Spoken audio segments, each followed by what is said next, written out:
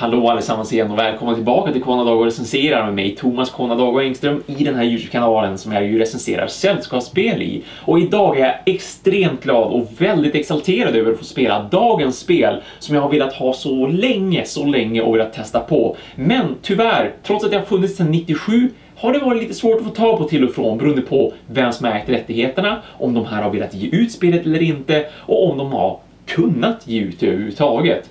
Men nu äntligen, Fantasy Flight Games, de har börjat på en ny serie, en ny franchise, som de helt enkelt kallar för Classic Euros, eller vad var Euro Classics rent utav, där de då ger ut klassiska eurospel som det här verkligen, verkligen, verkligen är. Och spelet heter Tigris and Euphrates och ser ut på det här viset.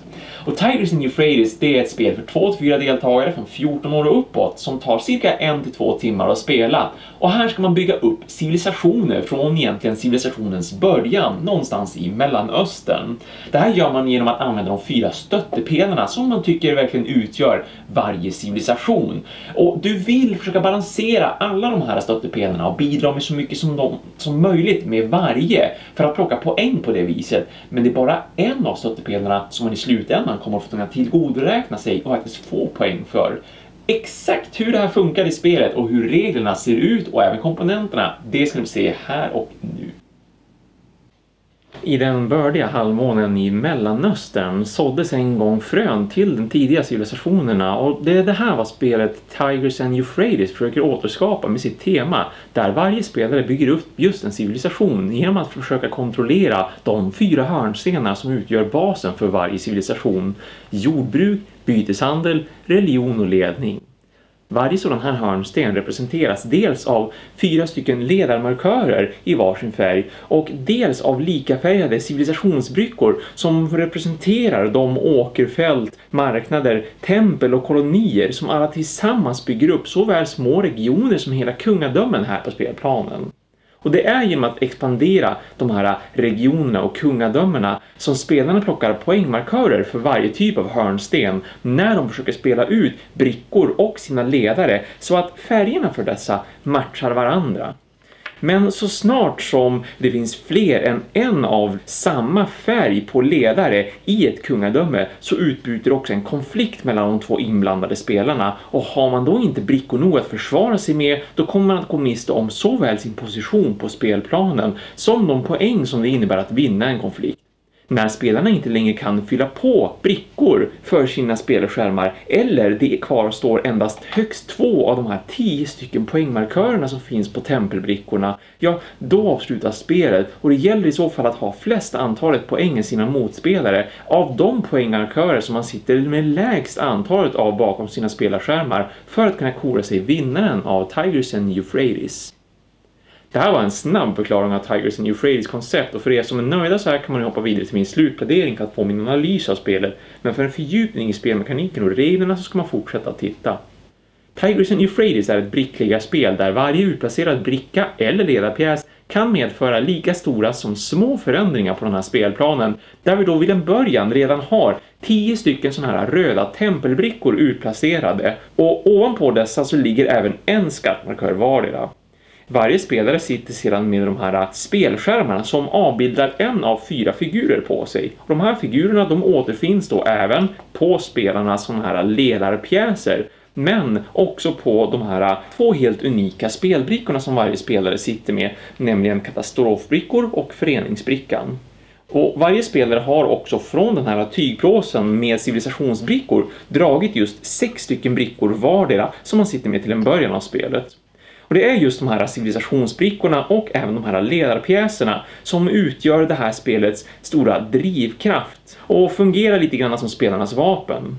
Målet med spelet är, lurigt nog, inte bara att samla poäng utan flera olika typer av poäng som alla motsvarar en av civilisationens fyra hörnpelare man får varor genom att placera ut marknadsbrickor. Man får amuletter genom att placera ut tempel.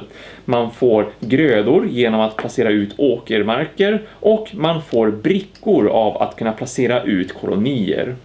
På en spelares tur så har man fyra stycken handlingar tillgängliga och det går att utföra två av dessa, vilka som helst, och en handling kan även upprepas. Omplacera eller återfå en ledarpjäs placera ut en civilisationsbricka, byta ut sina civilisationsbrickor eller placera ut en sån här katastrofbricka.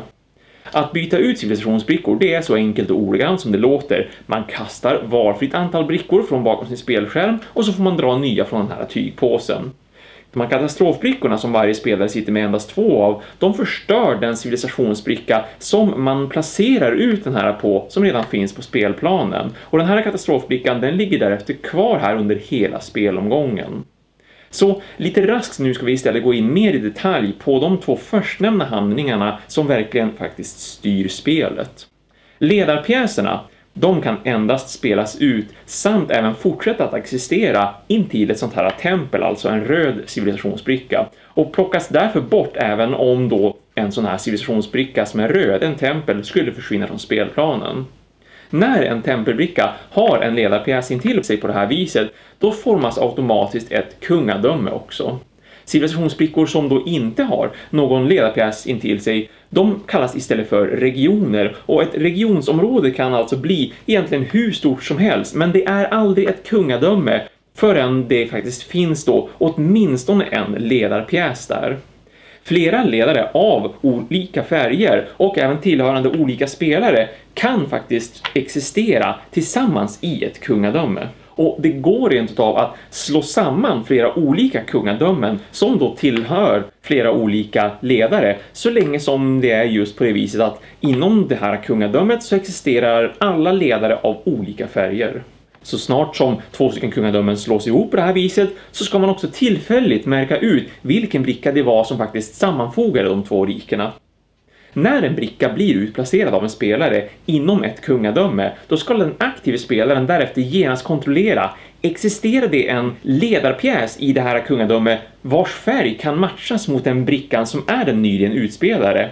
Om ja, så kommer då den spelaren som äger den här ledaren att få en poängmarkör som är av samma färg som självaste ledaren som är påverkad. Om nej, men det någonstans i riket finns en svartfärgad ledarmarkör i kungadömet, då kommer istället spelaren som äger den ledarmarkören att få den poängen tilldelad till sig.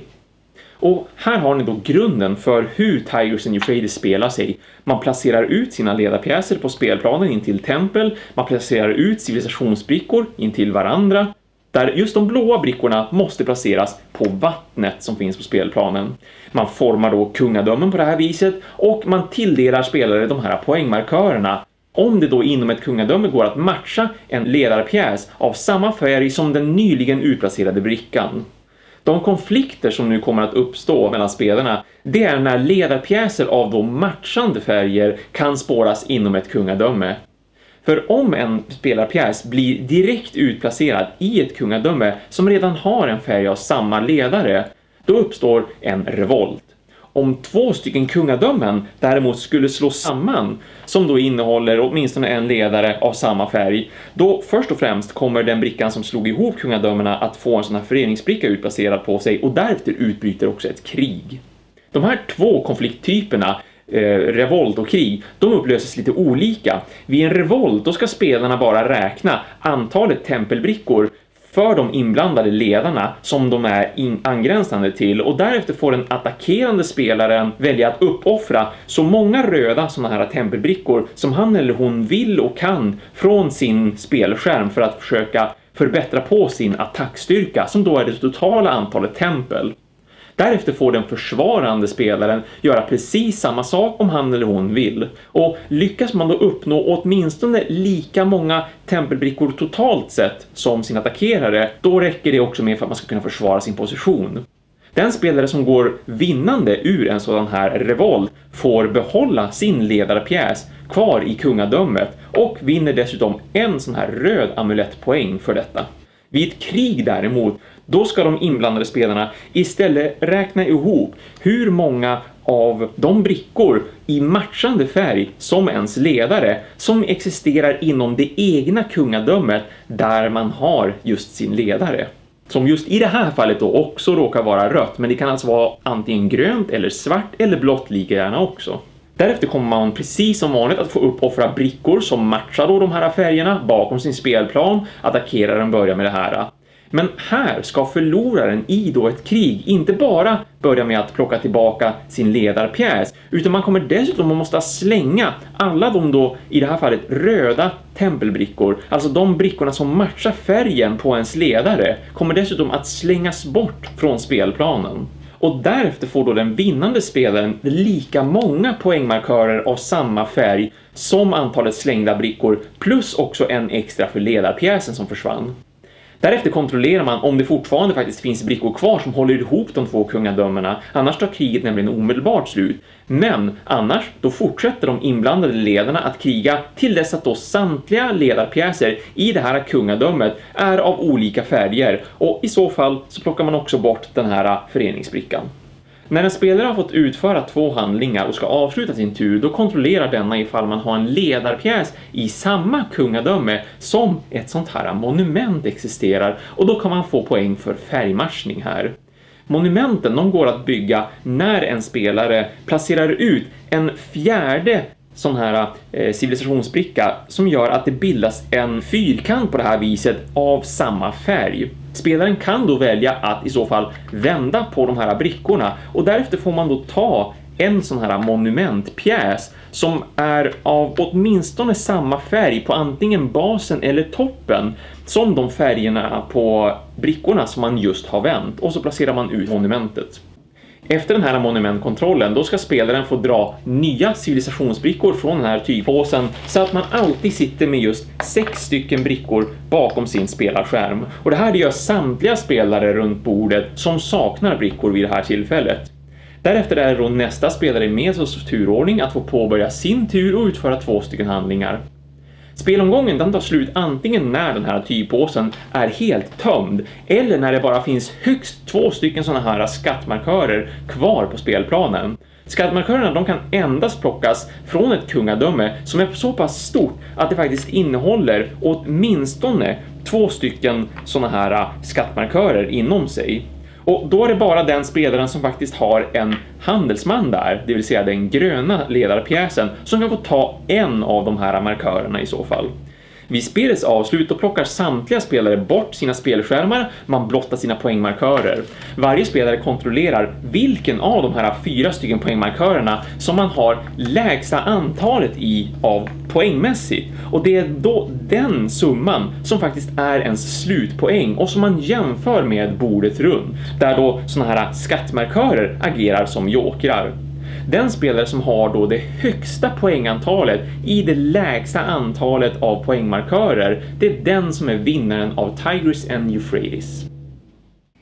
Ja, det där var alltså Tigers and Euphrates och äntligen har jag fått testa det här spelet, äntligen har jag fått se vad det går för och äntligen har jag förstått varför det är så bra också. Vilket gläder mig väldigt mycket, för när jag läste reglerna första gången så tyckte jag att hmm, vad är det här för spel egentligen? Det var lite krångligt ändå att komma in i exakt hur det funkade, trots att det är ett rätt enkelt spel, men det var ganska mycket att ta in, ganska många handlingar ändå, hur varje handling kunde påverkas beroende på vilken bricka man lägger, vilken ledare man lägger, vad som händer med de olika rikena också när de pusslas ihop i varandra och så vidare.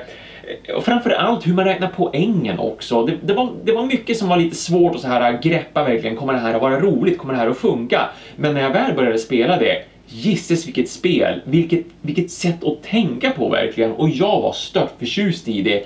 Hela spelgruppen var dock inte det, trots att det finns många spelare som, som skulle tycka om den här typen av spel ändå, som har gjort det sedan tidigare. Men vi var ganska uppdelade i två lag där, att Två av oss tyckte väldigt mycket om det, två av oss tyckte inte alls så mycket om det. Och jag vet inte riktigt vad jag ska sätta fingret på, men de tyckte helt enkelt att det var liksom träigt och tråkigt och jag tyckte tvärtom. Jättespännande spel, extrema möjligheter, jättekul med hur man kan påverka krig, hur man kan använda de här eh, katastrofbrickorna för att bara dela på riken eller bara eh, försöka få bort eh, andra ledare för att du kanske förstör ett tempel, templet satt ihop med, med ledare som nu inte har några fler tempel de sitter ihop med så de försvinner från spelplanen. Hur man använder sina handelsmän för att plocka de här extra poängen, man bygger ihop kungadömen med varandra eller riken för att de ska för att det ska finnas fler extra poäng som man kan ta, de här bonuspoängen, jokerpoängen. Jag tycker det fanns väldigt många lager av taktik och intressant genialiskt tänkande i Tigers and Euphrates så jag är jättenöjd med spelet i alla fall och det här ser jag fram emot att kunna spela fler gånger. Förmodligen inte med alla i min spelgrupp då, men med några av dem åtminstone. Det skulle vara intressant att se hur det spelar sig på färre, speciellt bara två. Jag tror att det är roligare att spela på fler. Jag vill ha de här konflikterna, jag vill att det ska kunna skapas mer krig. Jag vill att det ska vara trångt på ytan också, för det känns som att i och med att spelplanen inte förändras på något vis, den krymper inte och den justeras inte av antalet spelare, så känns det som att det blir lite för luftigt nästan. Jag kan tänka mig och se att det blir en sån situation där två av dem i min spelgrupp, de satt och spelade det här faktiskt på just två och eh, sa det att det blir väldigt mycket monumentbyggande på varsin halva och så sitter där, man sitter som bara där och poängen tickar in och man är ganska nöjd ändå med sin situation och man behöver inte vara så himla aggressiv och det är det jag tänker med att spelet inte gör sig riktigt lika bra om man inte är så där aggressiv och ju fler spelare man är desto fler konflikter blir det ju. Det blir mer revolt och det blir mer krig, det kommer att hända helt enkelt. Men annars tycker jag ett riktigt bra spel i alla fall, bara överlag. Ehm, på 3 eller 4 är det förmodligen att det gör sig bäst enligt mig. Men, men det kanske beror på vem man spelar med också, kanske kan göra sig som ett bra tvåspelarspel också. Men det här är verkligen ett av Knizias bästa spel skulle jag säga. Helt klart, det är väldigt unikt ändå i hur det funkar, med hur man räknar poängen, med hur man kan påverka varandra, med hur man spelar bara. Jag är jättenöjd med grundspelet eh, Tigers in Euphrates. Jag har tyvärr inte haft tiden att sätta mig in i reglerna och testa de här extra grejerna. För Fantasy Flight Games har ju ändå velat sätta någon slags egen prägel på det här spelet. Så det finns någon slags avancerade regler har jag sett och det finns extra spelmarkörer och så vidare. Och jag, jag, utgår nu från att allt det här är Fantasy Flight Games, att det är de som har kommit med de här grejerna och försökt som sagt sätta lite en egen prägel, försöka göra om spelet, kanske modernisera det och det finns två stycken spelplaner. Man kan vända på spelplanen för att få en mer avancerad version av den.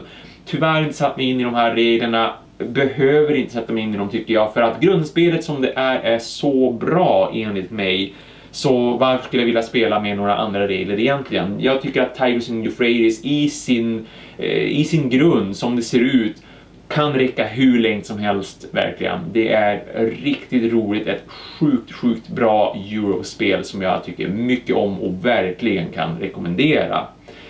Eh, är det så att ni är extra intresserade av det här spelet just nu så har ni då 10% rabatt på worldofboardings.com som har försett mig med det här spelet, vilket jag tackar så jättemycket för.